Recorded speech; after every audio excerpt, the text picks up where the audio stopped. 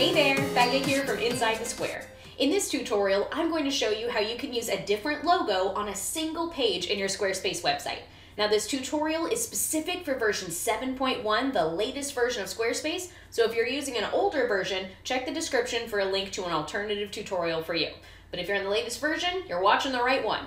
What we're going to do today is upload the alternative logo to the custom files section of your website. And then we're going to add a little bit of CSS to an individual page to make sure that that logo is displayed on just one page and not the rest of your website. Okay?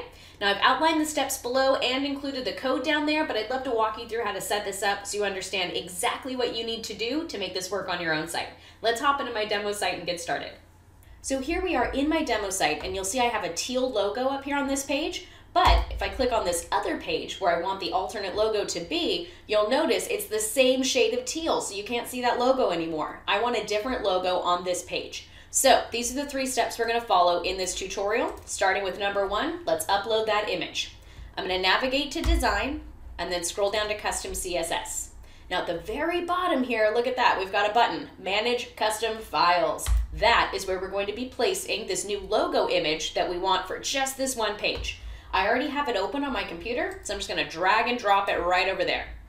All right, now next up, step number two, we're gonna update the URL inside the code. I've got the code over here. I'm just gonna go ahead and copy it. And what we're gonna do is paste it in this custom CSS section for just a second. You'll notice it's already saying syntax error on line one. It's because it's not gonna stay there forever.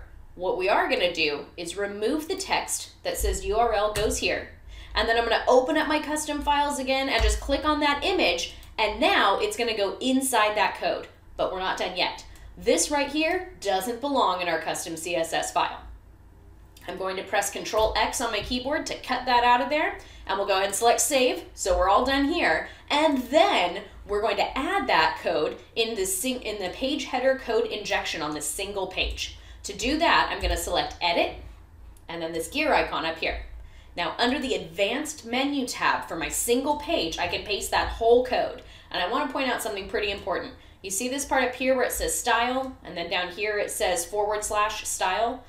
In the page header, you can have different types of code. So we need to make sure the browser knows this is a style code. This is how we tell it, I'm about to give you some CSS. So that's why we have those two brackets there, and this is the whole code that basically says, take my title logo, that active link up there, and make it this image instead. I'll select save, and we'll select done, and that page is gonna refresh itself and reload that header, and check it out, we have the alternative logo. And if we go back to our original page, that teal one is still there. And that's how we're able to put it on a single page. So there you have it, three simple steps. Now I do want to mention, page header code injection at the time of recording this is only available on business and commerce plans. If you're on a personal plan, you need to use an on-page code block. Check a link in the description below for instructions on how to do that. But if you're on a business or commerce plan, just follow the steps we just did together.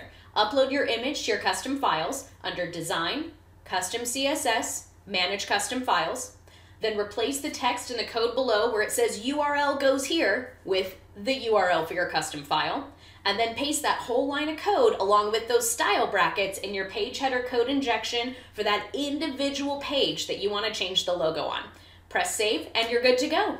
And that's it for this tutorial. I hope you learned something awesome. Thank you so much for watching and most importantly, have fun with your Squarespace website.